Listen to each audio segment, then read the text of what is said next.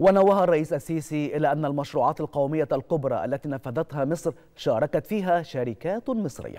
وأشار الرئيس السيسي إلى أن تلك المشروعات ساهمت في توفير فرص عمل لنحو خمسة ملايين عامل مصري. فتعملت مشاريع في مصر بنية أساسية ومشاريع قومية تشغل خمسة مليون بخمس آلاف شركة في كل القطاعات في كل شيء. منها تنقل الدولة المصرية من حالة كانت موجودة فيها حالة صعبة قوي حالة صعبة قوي.